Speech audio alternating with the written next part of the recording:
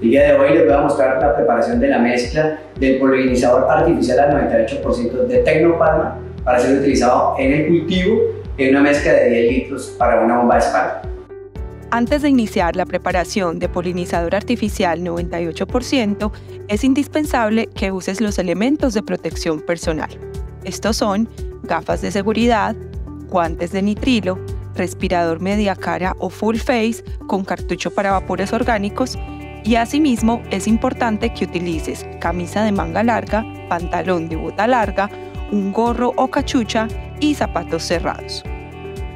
Hoy prepararemos 10 litros de mezcla. Por esto, iniciamos pesando 12 gramos de polinizador artificial 98% en una báscula previamente calibrada, ya que por cada litro de mezcla debemos agregar 1.2 gramos de polinizador artificial 98%. Ahora mediremos 267 mililitros de etanol para depositarlos en otro recipiente, en este caso un beaker, donde posteriormente mezclaremos otros elementos. De igual forma, tomaremos 30 mililitros de emulsionante y 25 mililitros de coadyuvante.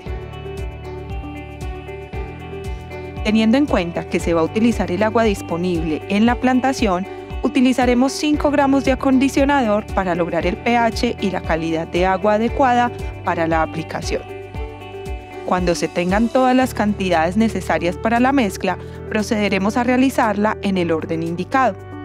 Primero, debemos diluir el polinizador artificial 98% en el alcohol, ya que este producto no es soluble en agua siempre agitando muy bien para garantizar una correcta mezcla de los ingredientes. Agite hasta que no evidencie residuos de polinizador artificial 98% en el fondo del recipiente.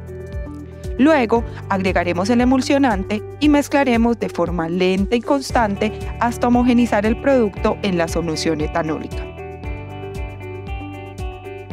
Finalmente agregaremos a la mezcla el coadyuvante y agitaremos hasta que se homogenice.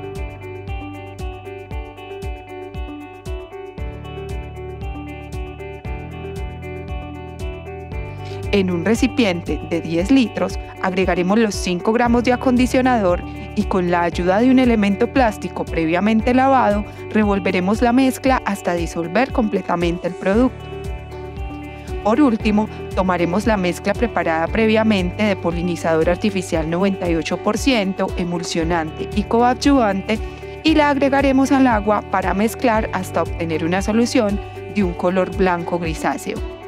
Con la mezcla ya lista, el último paso es agregar el contenido a la bomba de espalda de forma lenta, evitando salpicaduras y sellándola correctamente para su posterior calibración y uso en campo.